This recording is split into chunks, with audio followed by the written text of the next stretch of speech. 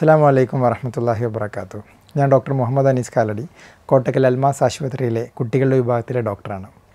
നമ്മളെല്ലാവരും കൊറോണ വൈറസിന്റെ രണ്ടാം തരംഗത്തിലൂടെയാണ് കര കടന്നുപോയിക്കൊണ്ടിരിക്കുന്നത്. ഈ ഒരു അവസരത്തിൽ കുട്ടികളിലെ കൊറോണ വൈറസ് എന്ന വിഷയത്തെ ആസ്പദമാക്കിക്കൊണ്ടാണ് ഈ വീഡിയോ ഞാൻ ഇന്നിവിടെ ചെയ്യുന്നത്. നമുക്കറിയാം വലിയ ആളുകളെ പോലെ തന്നെ ചെറിയ കുട്ടികളിലും സാധാരണ കുട്ടികളിലും കൊറോണ വൈറസ് കണ്ടുവരുന്നുണ്ട്. എന്നിരുന്നാലും വലിയ ആളുകളെ അതായത് മുതിർന്നവരെ അപേക്ഷിച്ച് അതിന്റെ മൂർധന്യത്തിൽ അതായത് കൊറോണ വൈറസ് ഇൻഫെക്ഷൻ സീരിയസ് ആവുന്നത് കുട്ടികളിൽ വളരെ അപൂർവമായിട്ടാണ് കാണുന്നത്. എങ്ങനെയാണ് കൊറോണ വൈറസ് ഇൻഫെക്ഷൻ പകരുന്നതെന്ന് നമുക്ക് എല്ലാവർക്കും അറിയാം. കൊറോണ വൈറസ് ഇൻഫെക്ഷനുള്ള ഒരാളുടെ സെക്രീഷൻസ് അതായത് ശരീരസ്രവങ്ങൾ അയാൾ തുമ്മുമ്പോഴോ ചുമക്കുമ്പോഴോ അല്ലെങ്കിൽ എന്തെങ്കിലും സെക്രീഷൻസ് വായിലൂടെ മൂക്കിലൂടെ വരുന്ന സെക്രീഷൻസ് അതിലെ ഡ്രോപ്ലെറ്റ് അതായത് നമ്മുടെ സ്രവങ്ങൾ മറ്റൊരാൾ ശ്വ- ശ്വസിക്കുമ്പോഴോ അല്ലെങ്കിൽ ഈ കൊറോണ വൈറസ് ഉള്ള പ്രതലത്തിൽ നമ്മുടെ കൈ കൊണ്ട് സ്പർശിച്ച ശേഷം ആ കൈ നമ്മൾ കഴുകാതെ തന്നെ നമ്മുടെ കണ്ണിലോ മൂക്കിലോ അല്ലെങ്കിൽ വായിലോ സ്പർശിക്കുമ്പോഴാണ് നമുക്ക് സാധാരണയായി കൊറോണ വൈറസ് ഇൻഫെക്ഷൻ ലഭിക്കുന്നത്. കുട്ടികളിൽ സാധാരണയായി കണ്ടുവരുന്ന ലക്ഷണങ്ങൾ മുതിർന്നവരെ പോലെ തന്നെ പനി ഈ രണ്ടാം തരംഗത്തിൽ അതായത് കഴിഞ്ഞ വർഷത്തെ അപേക്ഷിച്ച് ഇപ്പ ഇപ്രാവശ്യത്തെ കൊറോണ വൈറസ് ഇൻഫെക്ഷനിൽ പനിയുടെ ലക്ഷണം അതായത് കാഠിന്യം കഴിഞ്ഞ വർഷത്തെ അപേക്ഷിച്ച് വളരെ കൂടുതലാണ് കുട്ടികളിൽ കണ്ടുവരുന്നത്. സാധാരണയായി കഴിഞ്ഞ വർഷം വളരെ ലഘുവായിട്ടുള്ള പനിയാണ് ഉണ്ടായിരുന്നെങ്കിൽ ഈ ഒരു കൊറോണ വൈറസ് അതായത് രണ്ടാമത്തെ രംഗത്തിൽ അതായത് പുതിയൊരു മ്യൂട്ടൻ സ്ട്രെയിനാണ് ഈ വർഷത്തെ രണ്ടാം തരംഗത്തിന് കാരണമായിരിക്കുന്നത്. ആ, സ്ട്രെയിൻ കൊണ്ടുവരുന്ന കൊറോണ വൈറസ് ഇൻഫെക്ഷൻ പനി വളരെ കടുത്ത പനിയും ഏകദേശം നാലോ അഞ്ചോ ആറോ ദിവസം നീണ്ടു നിൽക്കാവുന്ന പനി സാധാരണയായി കുട്ടികളിൽ കാണപ്പെടാറുണ്ട്. അതുപോലെ തന്നെ ജലദോഷം മൂക്കൊലിപ്പ് മൂക്കടപ്പ് അതുപോലെ തന്നെ ശരീരവേദന വയറിനുമായി ബന്ധപ്പെട്ട ബുദ്ധിമുട്ടുകൾ അതായത് വയറിളക്കം ഛർദി പോലെയുള്ളത് വളരെ അപൂർവം കുറഞ്ഞ കുറഞ്ഞ ആളുകളിൽ ശരീരത്തിൽ ചുവന്ന തടത്തിൽ നിറത്തിലുള്ള റാഷസ് പൊങ്ങുകയും അതുപോലെ തന്നെ കണ്ണിൽ ചുവന്ന കളർ വരാറുമുണ്ട്. സാധാരണയായിട്ട് ഇതാണ് സാധാരണ കോമൺ ആയിട്ട് കണ്ടുവരുന്ന ലക്ഷണങ്ങൾ. ഒരു പരിധിവരെ കുട്ടികൾക്ക് അതുപോലെ തന്നെ മുതിർന്നവർക്കും ലക്ഷണങ്ങളൊന്നും ഇല്ലാതെ തന്നെയും കൊറോണ വൈറസ് പോസിറ്റീവായി കാണാറുണ്ട്. സാധാരണഗതിയിൽ എങ്ങനെയാണ് നമുക്ക് ഈ ഒരു ഇൻഫെക്ഷനെ നമുക്ക് ഡയഗ്നോസ് ചെയ്യാം. അതായത് ഐഡന്റിഫൈ ചെയ്യാമെന്ന് ചോദിച്ചു കഴിഞ്ഞാൽ വലിയ മുതിർന്നവരിലൊക്കെ ചെയ്യുന്ന പോലെ തന്നെ കൊറോണ ടെസ്റ്റ് ചെയ്തിട്ടാണ് നമ്മുടെ കുട്ടികളിലും ഇതേ ടെസ്റ്റ് ഇത് അസുഖമുണ്ടോ ഇല്ലയോ എന്ന് തീരുമാനിക്കുന്നത്. മുതിർന്നവരിൽ ചെയ്യുന്ന പോലെ തന്നെ നമ്മുടെ മൂക്കിൽ നിന്നോ അല്ലെങ്കിൽ തൊണ്ടയിൽ നിന്നോ സ്രവമെടുത്ത് പരിശോധിച്ചിട്ടാണ് കൊറോണ വൈറസിന്റെ പോസിറ്റീവാണോ അല്ലെങ്കിൽ നെഗറ്റീവാണോ എന്നുള്ളത് നോക്കുന്നത്. രണ്ട് സാധാരണയായി ചെയ്യുന്ന ടെസ്റ്റുകൾ R T P C R എന്ന് പറയുന്ന ടെസ്റ്റാണ് അതാണ് ഏറ്റവും കൺഫർമേറ്ററി ആയിട്ട് ചെയ്യുന്ന ടെസ്റ്റ് വളരെ പെട്ടെന്ന് തന്നെ നിങ്ങൾക്ക് റിസൾട്ട് അറിയണം എന്നുണ്ടെങ്കിൽ ആന്റിജൻ ടെസ്റ്റും ഉപയോഗിക്കാവുന്നതാണ്. എങ്ങനെയാണ് കൊറോണ വൈറസ് ഇൻഫെക്ഷന് കുട്ടികളിലെ കൊറോണ വൈറസിന്റെ ട്രീറ്റ്മെന്റ് സാധാരണയായി മെജോറിറ്റി കുട്ടികൾക്കും നമുക്ക് വീട്ടിൽ വെച്ച് തന്നെ ചികിത്സിക്കാവുന്നതാണ്. വീട്ടിൽ വെച്ച് നമുക്ക് ചെയ്യാവുന്ന കാര്യങ്ങൾ എന്താ വെച്ച് കഴിഞ്ഞാൽ ഭക്ഷണം നന്നായിട്ട് ശ്രദ്ധിക്കുക. അതായത് ഹൈഡ്രേഷൻ നന്നായിട്ട് ജലം അതായത് വെള്ളം കൊടുക്കുക. സാധാരണ പനിയൊക്കെ ഉണ്ടാകുന്ന കുഞ്ഞുങ്ങൾ ഭക്ഷണം കഴിക്കാൻ വളരെ വിമുഖത കാണിക്കാറുണ്ട്. അതുപോലെ തന്നെ ഛർദി കൂടുതലായിട്ട് ഉണ്ടാവാറുണ്ട്. അപ്പോൾ ഇടയ്ക്കിടയ്ക്ക് കുറഞ്ഞ കുറഞ്ഞ അളവിൽ വെള്ളം കഞ്ഞിവെള്ളം അല്ലെങ്കിൽ കഞ്ഞി ജ്യൂസ് പോലെയുള്ള സാധനങ്ങളൊക്കെ ഇടയ്ക്കിടയ്ക്ക് കൊടുക്കുക. എന്തെങ്കിലും ബുദ്ധിമുട്ടുള്ള സിംറ്റംസ് ലക്ഷണങ്ങളുണ്ടെങ്കിൽ തീർച്ചയായിട്ടും ഒരു ഡോക്ടറുടെ പ്രിസ്ക്രിപ്ഷൻ അല്ലെങ്കിൽ ഡോക്ടറുടെ നിർദ്ദേശപ്രകാരം മാത്രമേ മരുന്ന് കഴിക്കാവൂ. പനിയുണ്ടെങ്കിൽ പനിയുടെ പാരസെറ്റമോൾ മരുന്ന് നമുക്ക് ആറ് മണിക്കൂർ ഇടവിട്ട് ഇടവിട്ട് തന്നെ കൊടുക്കാവുന്നതാണ്.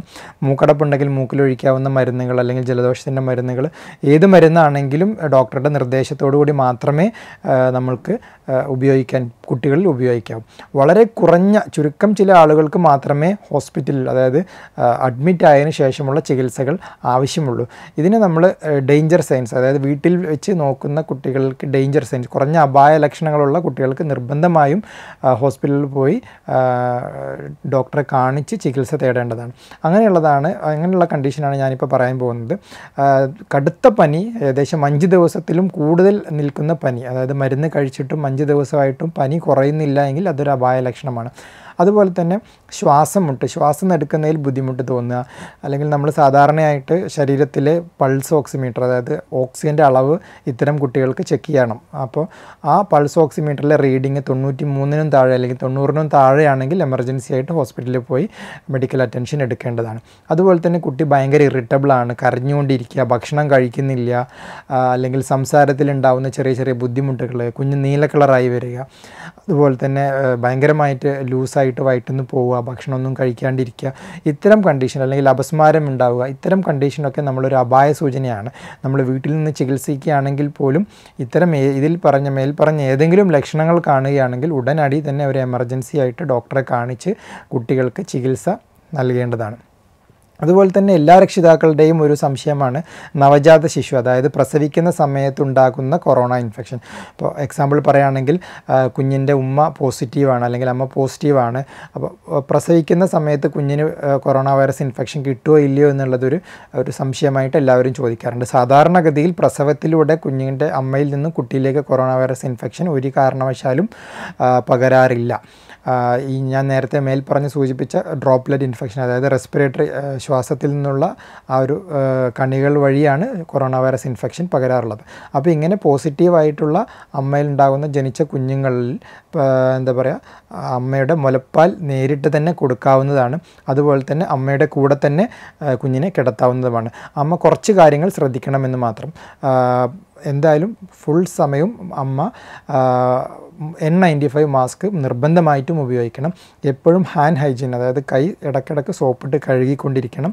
അതുപോലെ തന്നെ നേരിട്ട് തന്നെ നമുക്ക് കുഞ്ഞിന്റെ പാൽ കുടിപ്പിക്കാവുന്നതാണ്. ഇനി അമ്മയ്ക്ക് എന്തെങ്കിലും ബുദ്ധിമുട്ടാണ് ഐ സി യു പോലെയുള്ള ചികിത്സകൾ വേണ്ടി വരികയാണെങ്കിൽ മാത്രമേ കുഞ്ഞിന്റെ ഉമ്മയുടെ പാൽ പിഴിഞ്ഞെടുത്ത് കൊടുക്കാൻ കഴിയുന്നതാണ്. ഇടയ്ക്കിടയ്ക്ക് ബ്രസ്റ്റ് സോപ്പും വെള്ളവും ഉപയോഗിച്ച് കഴുകേണ്ട ആവശ്യമില്ല.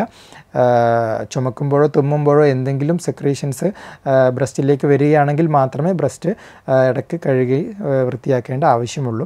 സാധാരണഗതിയിൽ ഡിസ്ചാർജ് ആവുന്നതിന് മുമ്പ് ഹോസ്പിറ്റലിൽ ഡെലിവറി ആണെങ്കിൽ ഡിസ്ചാർജ് ആവുന്നതിന് മുമ്പ് ഒന്ന് ഒരു തവണ കുഞ്ഞിനെയും ടെസ്റ്റ് ചെയ്യാറുണ്ട്. അത് പോസിറ്റീവ് ആണെങ്കിൽ മാത്രമേ വീണ്ടും ടെസ്റ്റ് ചെയ്യേണ്ട ആവശ്യം ഉണ്ടാവുകയുള്ളൂ. വരാതിരിക്കാൻ വേണ്ടി കുഞ്ഞുങ്ങൾക്കോ അല്ലെങ്കിൽ കുട്ടികൾക്കോ നവജാത ശിശുക്കൾക്കോ വരാൻ വേണ്ടിയിട്ട് ഒരു മരുന്നും നമ്മൾ കൊടുക്കാറില്ല. നമ്മൾ സാധാരണ വലിയ ആളുകൾക്ക് അല്ലെങ്കിൽ മുതിർന്നവർക്ക് എടുക്കാവുന്ന മുൻകരുതലുകൾ അതായത് മാസ്ക് ഉപയോഗിക്കുക കൈ സോപ്പിട്ട് കഴുകുക ഈ അല്ലെങ്കിൽ സോഷ്യൽ ഡിസ്റ്റൻസിങ് ഈ മുൻകരുതലുകൾ മാത്രമാണ് കുട്ടികളിലും നമ്മൾ ചെയ്യുന്നത്. ഇനി കുട്ടികളിലെ പ്രതിരോധ കുത്തിവയ്പ്പ് അല്ലെങ്കിൽ വാക്സിനെ കുറിച്ച് പറയുകയാണെങ്കിൽ സാധാരണഗതിയിൽ കുട്ടികളിലെ ഇൻഫെക്ഷൻ വാക്സിനെ കുറിച്ചുള്ള പഠനങ്ങൾ നടന്നു വരികയാണ്. പല രാജ്യങ്ങളിലും കുട്ടികൾക്ക് കുത്തിവയ്പ്പുകൾ തുടങ്ങിയിട്ടുണ്ട്. പഠനങ്ങളൊന്നും തന്നെ കുട്ടികൾക്ക് കുത്തിവയ്പ്പ് കൊണ്ട് ബുദ്ധിമുട്ടുകളൊന്നും തന്നെ കണ്ടിട്ടില്ല. വരും ദിവസങ്ങളിൽ സാധാരണ ഇപ്പോൾ കുട്ടികളിലെ രോഗാവസ്ഥ മൂർച്ഛിക്കുന്നതും അതുപോലെ തന്നെ മരണനിരക്കും വളരെ കുറവായതുകൊണ്ട് കുട്ടികളിലെ ഇമ്മ്യൂണൈസേഷൻ നമ്മൾ വലിയ ആളുകൾക്ക് അതായത് മരണനിരക്ക് കൂടുന്ന വലിയ ആളുകളുടെ എടുത്തതിന് ശേഷമാണ് കുഞ്ഞുങ്ങളിലേക്ക് വരുന്നത്. ഇനി ഏതൊക്കെ കണ്ടീഷനിലാണ് കുട്ടികൾക്ക് ഈ ഒരു കൊറോണ വൈറസ് വ്യാപനം മൂർച്ഛിക്കുന്നത്.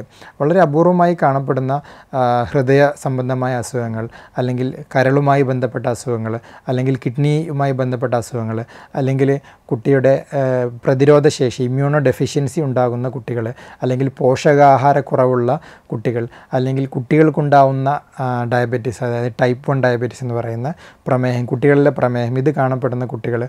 അതുപോലെ തന്നെ ചില ചില മരുന്നുകൾ സ്റ്റിറോയിഡ് മരുന്നുകൾ അതായത് പ്രതിരോധശേഷിയെ കുറയ്ക്കുന്ന മരുന്നുകൾ എടുക്കുന്ന കുട്ടികൾ അല്ലെങ്കിൽ കീമോതെറാപ്പി ഉപയോഗിക്കുന്ന കുട്ടികൾ. ഇത്തരം കുട്ടികൾക്കൊക്കെ പ്രതിരോധശേഷി സാധാരണ കുട്ടികളെ അപേക്ഷിച്ച് വളരെ കുറവായിരിക്കും. അപ്പോൾ ഇത്തരം കുട്ടികളിൽ അസുഖബാധ ഉണ്ടാകുന്നത് വളരെ അസുഖം മൂർച്ഛിക്കാനും അതുപോലെ തന്നെ ഗുരുതരാവസ്ഥയിലേക്ക് പോകാനുള്ള സാധ്യതകൾ വളരെ കൂടുതലാണ്. അപ്പോൾ ഇത്തരം മരുന്നുകൾ എടുക്കുന്നതും ഇത്തരം അസുഖങ്ങളുള്ള കുട്ടികളെ വളരെ ശ്രദ്ധിച്ചുകൊണ്ട് തന്നെ അവർക്ക് വരാതിരിക്കാനുള്ള മുൻകരുതലുകൾ എടുക്കേണ്ടത് അത്യാവശ്യമാണ്. അതുപോലെ തന്നെ കൊറോണ വൈറസ് പ്രതിരോധത്തിന് വേണ്ടി ഡോക്ടറുടെ നിർദ്ദേശമില്ലാതെ ഒരു പരിധിയിൽ കൂടുതൽ വിറ്റാമിൻ മരുന്നുകൾ കൊടുക്കുന്നതും അതുപോലെ തന്നെ ബുദ്ധിമുട്ടുകൾ ഉണ്ടായിക്കൊണ്ട് തന്നെ അതായത് ശ്വാസം മുട്ട് അതുപോലെ തന്നെ ഞാൻ മേൽ പറഞ്ഞ അപായ സൂചനകൾ ഉണ്ടായിട്ടും ഡോക്ടറുടെ ഡോക്ടറെ കാണിക്കാതെ വീട്ടിൽ വെച്ച് തന്നെ ചികിത്സിക്കുന്നതും വളരെ അപകടം നിറഞ്ഞതാണ്. അത്തരം കണ്ടീഷൻസിൽ നമ്മൾ എന്തായാലും ഒരു ഡോക്ടറെ കാണിച്ച് അതിന് വേണ്ട ചികിത്സകൾ നിർദ്ദേ നിർദ്ദേശിക്കേണ്ടതാണ്. എന്ത് ചികിത്സകൾ കൊടുക്കുകയാണെങ്കിലും അത് ഒരു ഡോക്ടറുടെ നിർദ്ദേശപ്രകാരം മാത്രമേ കുട്ടികൾക്ക് കൊടുക്കാവൂ. അതേപോലെ തന്നെ കുട്ടികളുടെ മരുന്നിന്റെ ഡോസും ഡോക്ടറുടെ നിർദ്ദേശപ്രകാരം മാത്രമേ കൊടുക്കാവൂ. പനി കുറയുന്നില്ല എന്ന് വിചാരിച്ച് വീണ്ടും വീണ്ടും പനിയുടെ മരുന്ന് കൊടുത്ത് ഒരുപാട് ബുദ്ധിമുട്ടുകളൊക്കെ ഉണ്ടാകുന്ന അനുഭവങ്ങളൊക്കെ ഉണ്ട്. അതുകൊണ്ടാണ് ഞാനിത് കുറച്ചും കൂടി സ്പെസിഫൈ ചെയ്ത് ഊന്നൽ കൊടുത്ത് പറയാൻ കാരണം.